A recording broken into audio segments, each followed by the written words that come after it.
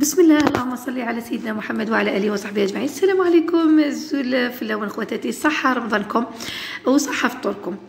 آه، خواتاتي اليوم إن شاء الله حبيت نشارك معكم هذه لاكيش آه، بعجينة بالزيت آه، اللي هي عجينة ثلث كيلات وهي عجينة يعني اجتهدت فيها أنا قليلا على كل حال. وإن شاء الله يا ربي جربوها وراني متأكدة راح تنال إعجابكم لأنها صراحة رائعة. بسم الله المقادير هنا. ديت ثلاث كيلات تاع فارينة. كيما راكم شايفين هنا ديت هادو لي بتي غامكان هادو. آه هو القيس تاع هذا الغامكان هو نصف كأس. هنا ديت ثلاث كيلات فارينة ثلاث كيلات دقيق كيلة تاع الزيت ونص كيلة تاع الماء. ملعقة صغيرة خميرة الخبز وملعقة صغيرة تاع الملح. والثوم. هنا العجينة نتاعي نضيف لها الثوم الثوم تعطي لها نكهة رائعة. بسم الله نبداو في العمل. أول حاجة أنا شوفوا الطريقة تاعي. ندي هذيك النص كيلو تاع الماء نضيف لها ملعقة صغيرة تاع الخميره تاع الخبز وملعقة صغيرة ملح وشوية تاع الثوم. الثوم يعطي لها بنه هايله ومن بعد نخلطهم ونضيف لهم هذيك الكيلة تاع الزيت. بعد ذلك نبدأ نضيف الفرينة. يعني أنا الفرينة هي اللي نعملها الأخيرة.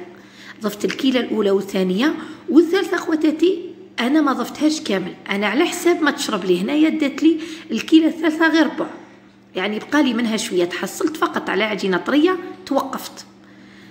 هذه هي العجينة. ولا أسهل اخواتي في دقيقة تحضر لك. يعني ما فيها لا تخمار لا عجن ولا أي شيء.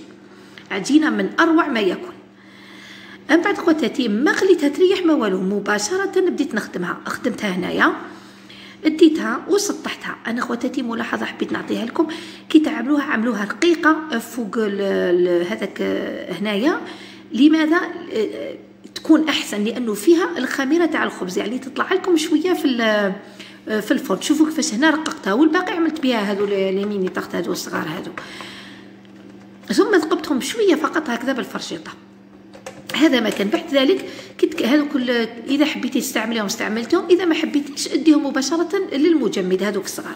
ومن بعد رحت نحضر في الحشو تاعي خواتاتي الحشو تاعي ديت أنا اثنين ملاعق زيت وضفت عليهم كمية اللي عندك تاع اللحم المفروم. أي كمية موجودة عندك ملعقة صغيرة ملح وملعقة صغيرة تاع الفلفل الأسود.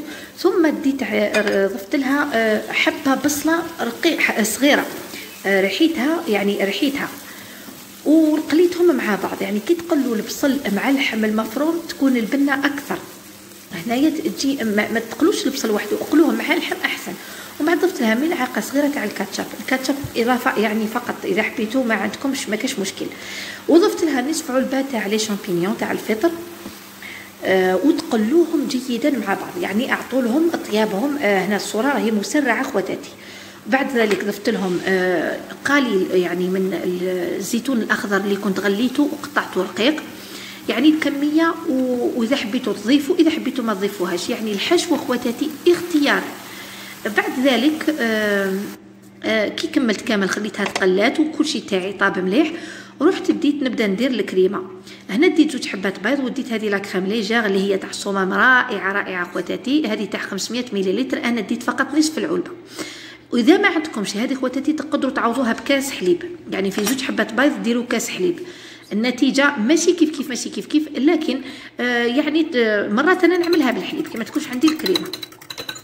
تخلطوا هذيك الكريمة مع زوج حبات بيض وشوية تاع ملح وفلفل.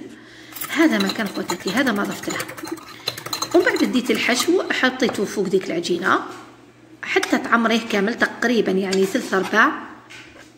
هذه خواتاتي هذه القيس تاع ال moule تاعي à tarte هذا عشرين سنتيمتر. القطر تاعو عشرين سنتيمتر. يعني ماهيش كبيرة. هذا هو خواتاتي حتى تعمروا كامل. حاولوا أنكم توزعوا يعني المقادير كامل les champignons والزيتون كامل في نفس المنطقة يعني كامل في مناطق مختلفة من هذه la tarte حتى تكملوا كامل العمل تاعكم. بعد ذلك تضيفوا لها هذيك الكريمة من فوق.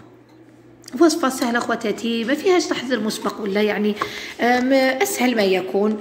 بعد ذلك تدخلوها فرن 180 درجة. خلوها خواتاتي تدي في الفرن شوية الوقت حتى تطيب لكم مليح مليح العجينة. أعطوها الوقت تاعها مليح في الفرن 180 درجة. وخلوها حتى تشوفوها بلي تحمرت مليح مليح مليح. يعني لازم تخلوا لها تعطوا لها الوقت الكافي باش تطيب كامل العجينة parce que العجينة ماهيش طيبه هذه هي خواتاتي لازم تتحمر لكم هكا مليح كامل في الأطراف. ومن تحت كذلك أنتم الفرن أنتم اللي تعرفوا هذه هي خواتاتي أنا ال mou... هذا ال moule تاعي يعني يتنحى باش نحطها مباشرة باش يكون التقديم تاعها la présentation تاعها شابة فوق الطاولة. وزينتها بشويه تاع الطماطم. هذا ما كان خواتاتي يعني إن شاء الله تكون الوصفة تاع اليوم. عجبتكم مازال؟ إن شاء الله وصفات في الأيام القادمة خواتاتي راني مرة نبعث لكم مالح مره نبعث لكم حلو باش نوعوا في الوصفة. آه هذه هي الوصفة خواتاتي دروك نوريها لكم في من الداخل كيفاش تخرج يعني العجينة رائعة رائعة خواتاتي جربوها. هذه هي شوفوا كيفاش تخرج خواتاتي ويعني الحشو اختياري لكن أنا ركزت لكم على العجينة لأنه صراحة خواتاتي تخرج طرية خاصة اللي يحب هذاك النوع الطري. شوفوا خواتاتي كيفاش أكثر من رائعه ركزوا لي على هذه العجينة لأنه صراحة تستحق التجربة. في الاخير خواتاتي إن شاء الله يا ربي تجربوها. والحشو كما قلت لكم يبقى اختياري. نقول لكم صحة رمضانكم صحة فطوركم صحة فطوركم آه، صحة سحوركم. آه، حبيبتي دمتي متألقة. ديما قلت لهنا التلويث أنت مليليت